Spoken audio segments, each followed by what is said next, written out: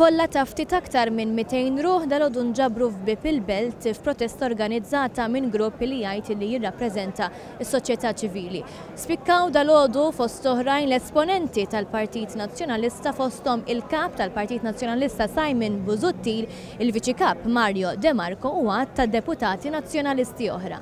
Dik li suppost kellha tkun protesta tas-soċjetà ċivili u mhux partiġġana setgħet faċilment tiġi deskritta bħala t-tielet protesta tal-Partit Nazzjonalista. Apparti l-Kap tal-Partit Nazzjonalista Simon Busuttil u l-Viċi Kap Mario de Marco dehru jipprotestaw kontra l-korruzzjoni u favur it-trasparenza u l-etika deputati Nazzjonalisti oħra bħal Claudette Buttigieg, Francis Zammit Dimech u Karl Guder, u s-Segretarju Ġenerali tal-Partit Nazzjonalista Rosette Thicke, filwaqt li reġgħu tfaċċaw nies li kienu fiż-żewġ protesti li organizza l-Partit Nazzjonalista fl-aħħar xhur, nies li malli telqu l-esponenti Nazzjonalisti malajr